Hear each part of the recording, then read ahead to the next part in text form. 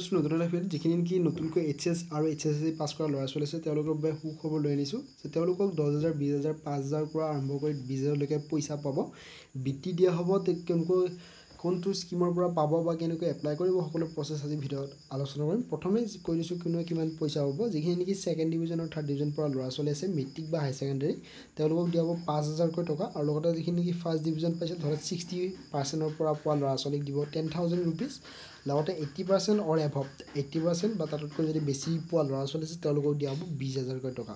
তো এই প্ৰজেক্টত আপোনালোকে অফলাইন বা অনলাইন দুটা যিকোনো এটা প্ৰজেক্টত আপোনালোকে আবেদন কৰিব পাৰে। ইয়াৰ বাবে আপোনালোকে এইচ এছ বা H S L C pass কৰাটো কম্পালচৰি হ'ব। এই যিটো বৃত্তি ক'ৰ পৰা আহিছে কেনেকৈ এপ্লাই কৰিব তাৰ বিষয়ে ভিডিঅ'টো আলোচনা কৰিম। তো প্ৰথমে নটিফিকেশ্যনখন আপোনালোকক দেখুৱাই দিছোঁ।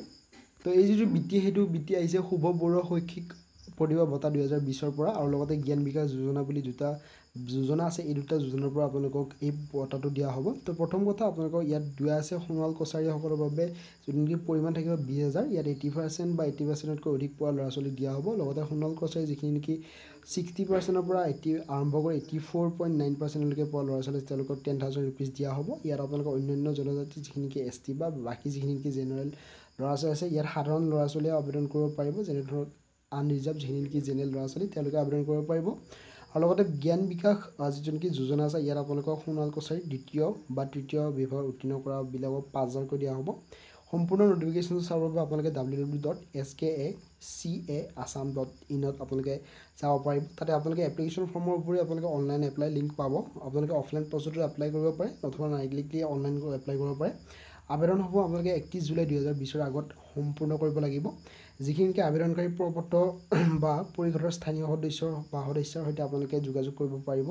তো অৰ্থাৎ গাঁৱৰ যিখন নেকি গাঁও মেম্বাৰ বা যিটো নেকি পঞ্চায়ত থাকে তাতে আপোনালোকে গ'লে আপোনালোকে এপ্লিকেশ্যনখন পাব। নতুবা আপোনালোকে ডাইৰেক্টলি যিটো নেকি অফিচিয়েল ৱেবছাইট দি আছে তাতে ডাইৰেক্টলি এপ্লিকেশ্যন ফৰ্মখন তাতে ডাউনলোড কৰি প্ৰিণ্ট আউট কৰি আপোনালোকে ফিল আপ কৰি তাতে জমা দিব পাৰিব। তো এইটো হৈছে জমা দিয়াৰ কথা তো নেক্সট আপোনালোকে কি কি জমা নথি পত্ৰ তাতে জমা দিব তাৰ বিষয়ে যদি কওঁ চিম্পলি আপোনালোকে মেট্ৰিকৰ যিখিনি নেকি ডকুমেণ্টছ আছে যদি মেট্ৰিক হিচাপত মেট্ৰিক পাছ কৰি আপোনালোকে আবেদন কৰিব বিচাৰে মেট্ৰিকৰ গোটেইখিনি ডিটেইলছ দিব।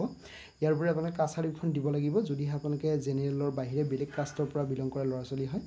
লগতে আপোনালোকৰ যিখন নেকি নিজৰ মা দেউতাৰ যিখন নেকি ভোটৰ তালিকাত নাম অহা যিখন নেকি তালিকা দুহেজাৰ ঊনৈছ বৰ্ষৰ সেই ঊনৈছ বৰ্ষৰ তালিকাখন জে এছ কপি দিবলৈ নাপাহৰিব। লগতে বেংকৰ পাছবুকৰ জে এছ কপি এইবিলাক দিব লাগিব যিহেতু বিক্ৰী বা পইচাৰ লগত জড়িত কথা। তো লগতে যিখিনি নেকি এইচ এছ এল চি বা এইচ এছ পাছ কৰা ল'ৰা ছোৱালী তো তেওঁলোকে নিজৰ নিজৰ যিখিনি নেকি ডকুমেণ্টছ হাই ছেকেণ্ডেৰী গোটেইখিনি ডকুমেণ্টছ দিব।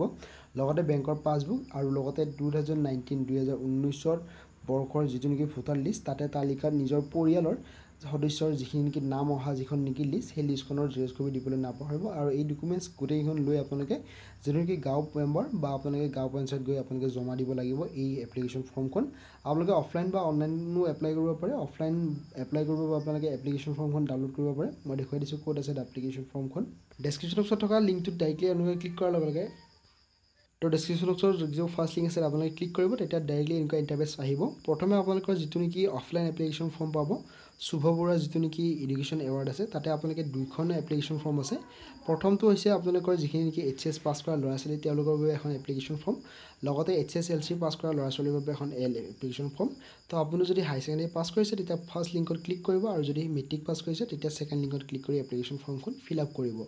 লগতে যিখন নেকি নেক্সট যিটো নেকি যোজনা হৈছে জ্ঞান বিকাশ যোজনা দুহেজাৰ বিছ ইয়াৰ বাবে আপোনালোকে এইচ এছৰ বাবে ফাৰ্ষ্ট লিংকত ক্লিক কৰিব আৰু যদি এইচ এছ এল চি হয় তেতিয়াহ'লে ছেকেণ্ড লিংকত ক্লিক কৰিব। চিম্পলি যিকোনো এটা লিংকত আপোনালোকে ক্লিক কৰিলে যিখন নেকি এপ্লিকেশ্যন ফৰ্ম ডাউনলোড হৈ যাব। আৰু লগতে স্ক্ৰল ডাউন কৰিলে আপোনালোকে ইয়াত দুখন এপ্লাই অনলাইন এপ্লাই অনলাইন বুলি দুটা লিংক পাব য'ত আছে প্ৰথমটো হৈছে আপোনালোকৰ জ্ঞান বিকাশ যোজনাৰ বাবে এপ্লাই অনলাইন কৰিব পাৰে বা যিটো নেকি শুভপুৰ এডুকেশ্যনেল এৱাৰ্ড আছে তাৰ বাবে এপ্লাই অনলাইন কৰিব পাৰে। আপোনালোকে অফলাইন প্ৰচেছতে এপ্লাই কৰিলে একদম সুবিধাজনক হ'ব বুলি মই ভাবোঁ। যিহেতু আপোনালোকে গাঁও মেম্বাৰ বা গাঁও পঞ্চায়তৰ সকলোবিলাক বস্তু চিনি পায় যদিহে পায় তেতিয়াহ'লে অফলাইন প্ৰচেছতে এপ্লাই কৰক। লগতে অনলাইন এপ্লাই কৰিব বিচাৰিলে কৰিব পাৰে। যদি আপোনালোকে অনলাইন এপ্লাই কেনেকৈ কৰিব তাৰ বিষয়ে যদি নাজানে তেতিয়া ডেছক্ৰিপশ্যন বক্সত বা আপোনালোকে তলত কমেণ্ট কৰিব ডেফিনেটলি মই সহায় কৰিম কেনেকৈ এপ্লাই কৰিব লাগে। হায়েষ্ট এশটা যদি কমেণ্ট আহে এপ্লাই অনলাইনৰ বিষয়ে তেতিয়াহ'লে ডেফিনেটলি মই ছেকেণ্ড পাৰ্ট বনাম কেনেকৈ এপ্লাই কৰিব। প্ৰথমে এপ্লিকেশ্যন ফৰ্মখন আপোনালোকে কেনেকৈ ফিল আপ কৰিব তাৰ বিষয়ে অলপ চিম্পলি দেখুৱাই দিছোঁ। তো এইখন হৈছে আপোনালোকে এপ্লিকেশ্যন ফৰ্ম যিখন আপোনালোকে ফিল আপ কৰিব লাগিব। প্ৰথমে দুকপি ফটো এটা ষ্টেট কৰিবলৈ নাপাহৰিব। প্ৰথম ইয়াত আছে জিলা নিজৰ জিলাখনৰ নামটো উল্লেখ কৰিব প্ৰমত্ত জমা দিয়া যোনদিনা আপোনালোকে এইখন এপ্লিকেশ্যন ফৰ্ম জমা দিয়ে তাৰ না ডাইৰেক্টটো উল্লেখ কৰিব। সোণোৱাল কছাৰী নে অন্য জাতি নে সাধাৰণ শ্ৰেণীৰ কোনটো শ্ৰেণীৰ পৰা হয় আপোনালোকে উল্লেখ কৰিব। নিজৰ নামটো দিব কেপিটেলৰ সম্পূৰ্ণ অসমীয়াত লিখিব লগতে অভিভাৱকৰ নিজৰ দেউতাৰ নামটো লিখিব অভিভাৱকৰ কি বৃত্তি আছে তেওঁ কি কৰে তাৰ বিষয়ে জনাব আৰু লগতে যোগাযোগৰ ঠিকনাৰ বাবে নিজৰ গাঁও বা চহৰৰ নামটো দিব ডাকঘৰ পিনক'ড এইখিনি সাধাৰণ যিখিনি নেকি এড্ৰেছ লগতে আপোনালোকে যিহেতু এইচ এছৰ এপ্লিকেশ্যন ফৰ্ম তো তাৰ বাবে ইয়াত কলা বিজ্ঞান বাণিজ্য বুলি আহিছে যদি মেট্ৰিক হয় তেতিয়া ডাইৰেক্টলি মেট্ৰিকৰ ফৰ্মখন চাব একদম চিম্পল হয়। প্ৰথমে আপোনালোকৰ হাই ছেকেণ্ডেৰী ডিটেইলছখিনি দিব লাগিব তাৰপিছত বেংকৰ ডিটেইলছখিনি আপোনালোকে বেংকৰ যিখিনি নেকি নৰ্মেলি জেনেৰেল যিখিনি নেকি ডিটেইলছ প্ৰথমে বেংক কোনটো বেংকত আছে আপোনালোকৰ সেই নামটো লিখিব এছ বি আই বা আছাম গ্ৰামীণ বিকাশ বেংক কি বেংক হয় আপোনালোকে বেংকৰ নামটো লিখিব ক'ত কোনটো ব্ৰাঞ্চত আছে আৰু একাউণ্ট নম্বৰটো লগতে আই এফ এছ চি ক'ডটো যিটো বেংকৰ পাছবুকৰ তলত পাব। লগতে বেংকৰ পাছবুকৰ জেৰেক্স কপিটো দিবলৈ নাপাহৰিব। ইয়াত আপোনালোকে আবেদনকাৰী স্বাক্ষৰ নিজৰ যোনে আবেদন কৰিছে তেওঁৰ নিজৰ চাইনটো লগতে পৰিষদৰ স্থানীয় সদস্যৰ স্বাক্ষৰটো দিবলৈ নাপাহৰিব যিটো নেকি আপোনাৰ গাঁৱৰ মেম্বাৰ থাকে। ইয়াত প্ৰয়োজনীয় কিছুমান নথি পত্ৰ যিখিনি আপোনালোকে দিব লাগিব তাৰ বিষয়ে ইয়াত কোৱা হৈছে আপোনালোকে ভালদৰে চাই ল'ব। আৰু ভিডিঅ'টো লাইক কৰিবলৈ নাপাহৰিব কাৰণ যিহেতু আপোনালোকে ভিডিঅ'বোৰ চাই কিন্তু ভিডিঅ'বোৰ লাইক নকৰে তাৰ বাবে ভিডিঅ'বোৰ লাইক কৰিব আৰু যিমান পাৰে কমেণ্ট কৰিবলৈ নাপাহৰিব। ধন্যবাদ।